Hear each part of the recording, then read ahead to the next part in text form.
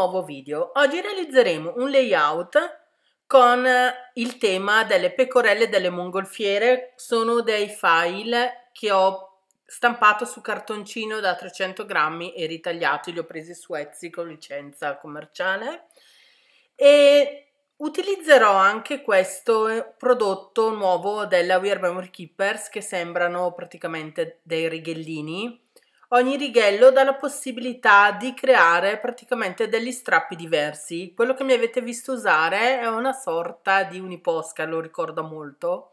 solo che all'interno ci si mette l'acqua e serve quando si deve strappare una carta con una grammatura abbastanza elevata e il risultato mi ha sorpreso perché comunque come si vede anche dagli esempi che hanno messo sulla confezione lo strappo non risulta proprio così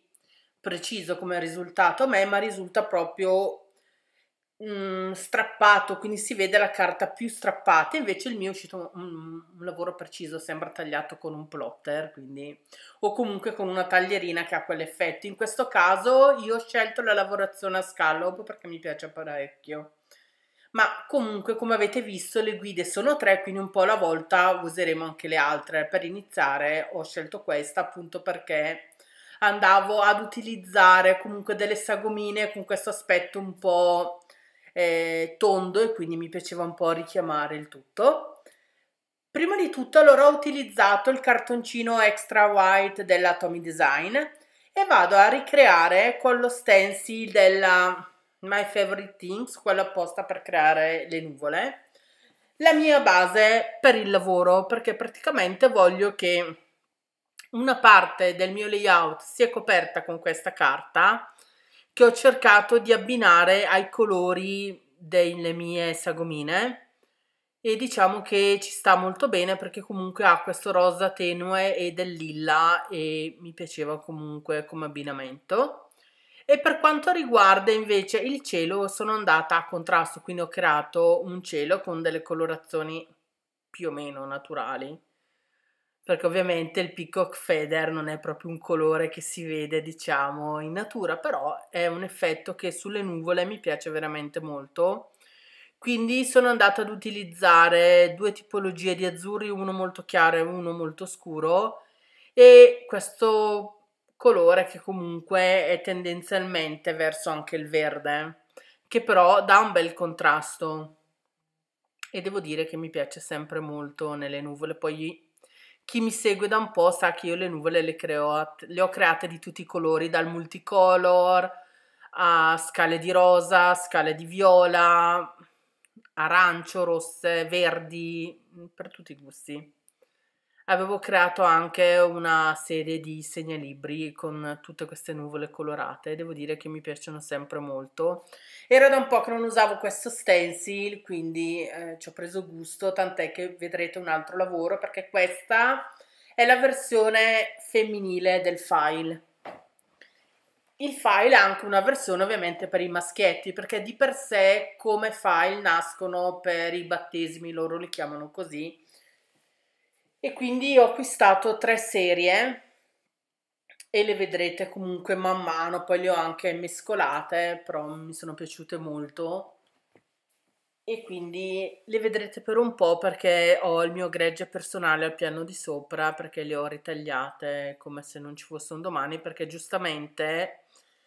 in un 30x30 pensavo che ci stesse il mondo e quindi ho pecore in abbondanza Comunque, ritornando al discorso, come vedete, una volta finita la parte del cielo, semplicemente vado a poi posizionare sopra quello che è comunque il mio cartoncino.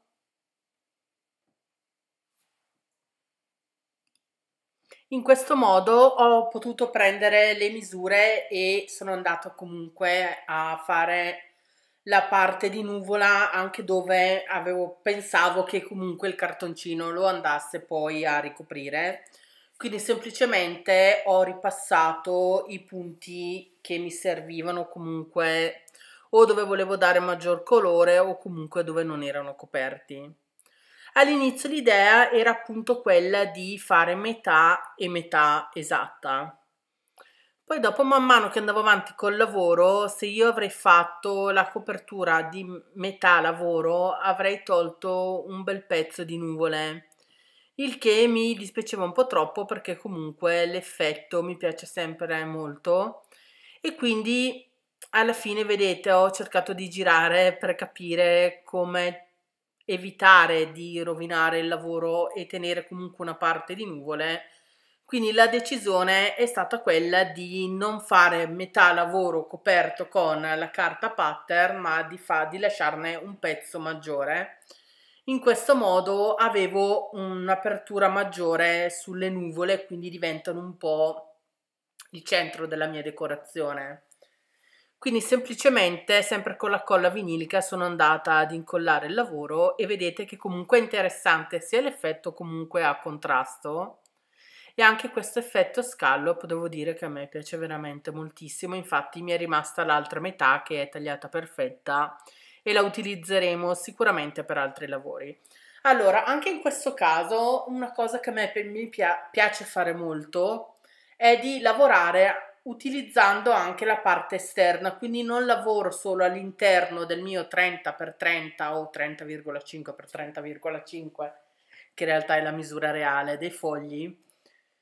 ma vado a utilizzare anche l'esterno anche perché so che è un lavoro che comunque non va inserito in una cornice. Logicamente se si lavorasse su un lavoro da cornice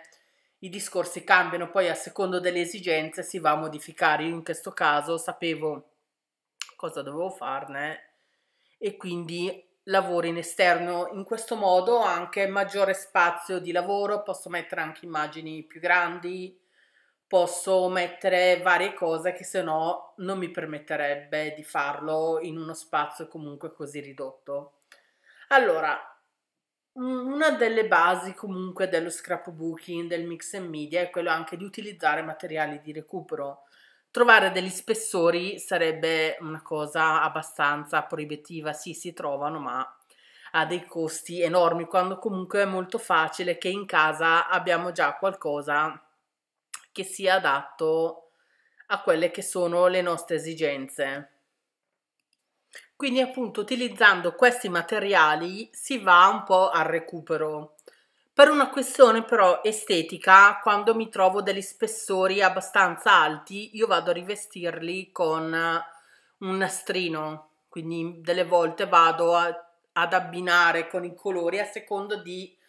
quanto può essere notato, in questo caso ho utilizzato del nastrino bianco che avevo, cioè è nuovo, mi era avanzato, non ne avevo tantissimo, ma per questo lavoro era più che sufficienza. E in questo modo quando anche si appende il lavoro o se si decide di lasciarlo anche solo su un mobile appoggiato da qualsiasi punto di vista si, ven- si vada comunque a controllarlo, non si vede il cartoncino craft,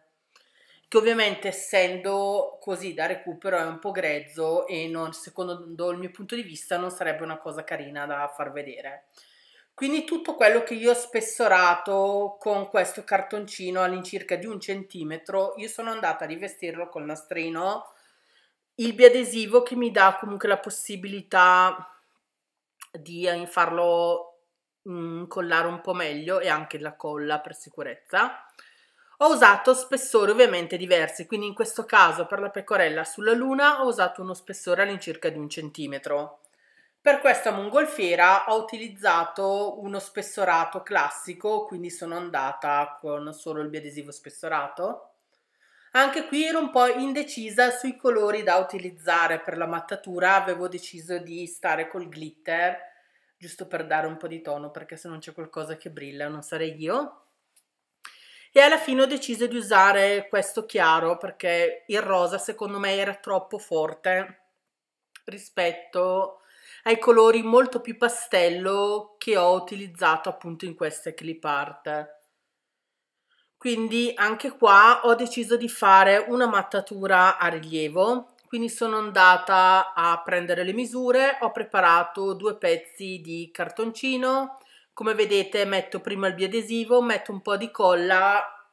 quando non mi vedete perché magari sto bruciando il nastrino in modo che non, non si sfili che non è una cosa carina da vedersi. E dopo incollo il tutto in questo modo il nastrino non si muove più dalla mia base e quindi non mi dà alcun tipo di problema, non ho il timore che il biadesivo col tempo mi faccia scollare le cose perché ad esempio col caldo il biadesivo tende a scollarsi molto. L'ho visto in vari lavori quindi preferisco sempre dare un puntino di colla e so che vado un attimino sul, sul sicuro e non ho alcun tipo di problema. Quindi vado a fare la mia mattatura in, molto semplicemente senza senza niente di che, come vedete si sposta ancora perché comunque utilizzando la colla vinilica si ha la possibilità di sistemare il lavoro perché abbiamo un attimino di gioco come tempistiche di lavoro. In questo caso anche la seconda mongolfiera ho deciso di spessorarla con il cartoncino, quindi in modo di dare un livello di tridimensionalità diverso al lavoro e anche così un po' l'impatto. E anche per quanto riguarda la mattatura ho deciso di decorarla tutta con questi fiorellini che ho ritagliato a mano. E ho lasciato appositamente la parte della mattatura proprio a lato quindi non l'ho messa obliqua non l'ho messa più centrale perché mi piaceva appunto l'idea di uscire un po' fuori dal contorno del lavoro con i fiori e li ho messi anche nella parte interna perché in questo modo si può scegliere sia di utilizzare una fotografia normale, quindi 10x15, si può scegliere di utilizzare anche un'immagine più piccola, si può decidere anche solo di andare ad applicare magari una card con una frase, una poesia che ci piace particolarmente e in questo modo comunque si hanno i fiori visibili sempre anche se si decide di mettere una fotografia c'è tutta la parte esterna del fiore, comunque un minimo di bordino nella mattatura si lascia. E se si decide di mettere una foto più piccola rimane sempre tutta la parte decorativa, ad esempio mi è capitato di fare dei quadretti simili all'interno, mettere una frase, quindi una mattatura di questo tipo con i fiori che vanno anche sulla parte dove dopo si appoggia la nostra immagine o la nostra frase e rimane comunque sempre interessante. Devo dire che queste clip art come le ho viste mi hanno fatto proprio innamorare e lo vedrete andando avanti col tempo e alla fine ho deciso di decorare appunto con questa scritta smile che mi sembrava la più indicata. Fatemi sapere cosa ne pensate, spero che vi piacciono le pecorelle perché vedrete molti lavori con questo tipo di decorazione, ovviamente lavori diversi Vedrete anche la versione fatta per un bambino, sempre utilizzando questa linea di file, quindi questo design, che devo dire mi, è piaciuto moltissimo e vedrete molte altre cose perché secondo me sono dei file che possono essere utilizzati e adattati per varie occasioni. Io vi saluto, vi ringrazio tutti per i commenti, per i like e perché mi seguite e anche i nuovi iscritti. Ciao a tutti e al prossimo video.